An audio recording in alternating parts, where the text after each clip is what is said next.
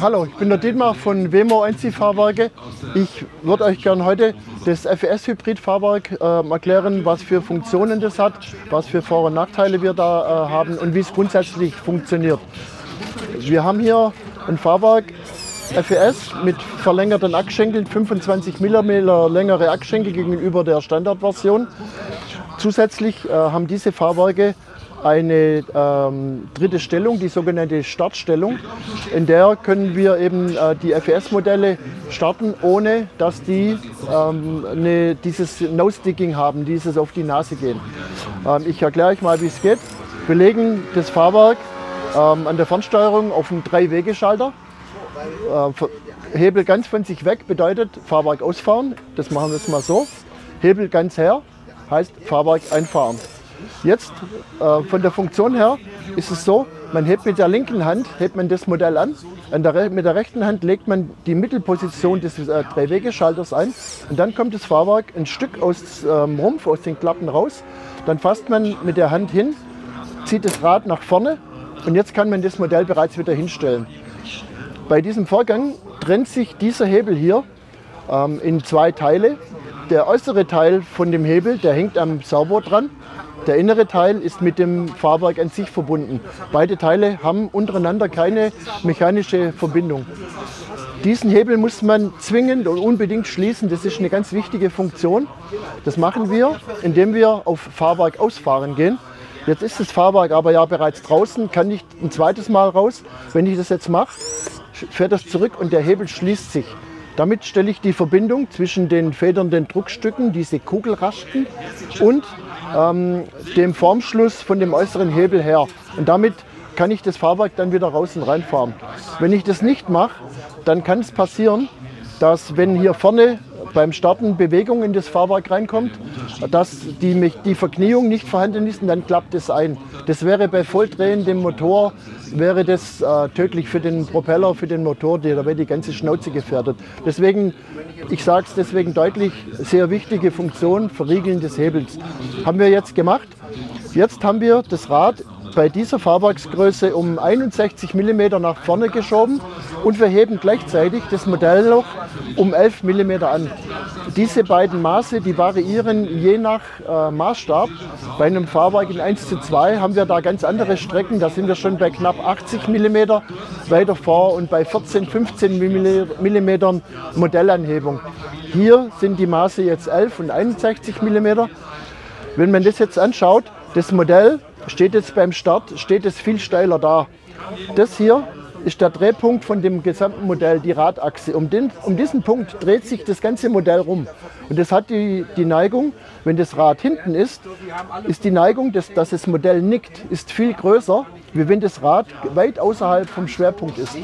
Ein weiterer Vorteil bei dieser Startposition resultiert daraus, dass man beim Starten nicht ständig voll am Höhenruder ziehen muss, um den Schwanz des Modells lange, so lange wie möglich unten zu halten, sondern man kann mit 20, 30 Prozent äh, Höhenruder kann man starten und hat dadurch den Vorteil, dass das Modell voll aussteuerbar ist. Bei vollgezogenem Höhenruder ist es nicht so einfach, weil der Druck äh, vom Höhenruder weggenommen wird und das Seitenruder nur wenig Wirkung zeigt. Das haben wir hier eben nicht. Das ist insbesondere für Anfänger im FES-Bereich ähm, sehr vorteilhaft, weil es ein, ein, sicheres Startverhalten ermöglicht. Wenn, äh, wenn wir jetzt in der Luft sind, dann fahren wir das Fahrwerk ein, wie man es vom Standardfahrwerk her kennt. Wir fahren es aus und wir können jetzt nur in die Landeposition rausfahren. Wir können niemals in die Startposition kommen, weil wir die am Boden nur von Hand einlegen können. Das kann auch nie aus Versehen passieren. Damit wird es sichergestellt vom Einstellen des äh, Nullpunkts auf der, auf der Mittelposition des Drehwegeschalters, da gibt es hier am Hebel eine, eine Spitze drauf, die sieht man hier ganz gut.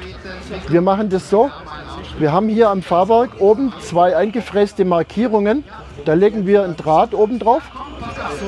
Und dann stellen wir das, das so ein, dass die Spitze genau auf diesem Draht steht das Endeffekt muss sein, dieser Hebel muss genau senkrecht stehen in der Nullposition ähm, des Fahrweges.